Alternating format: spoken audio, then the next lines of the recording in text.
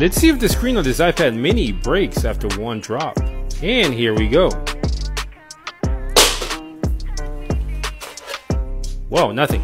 Let's do a second drop.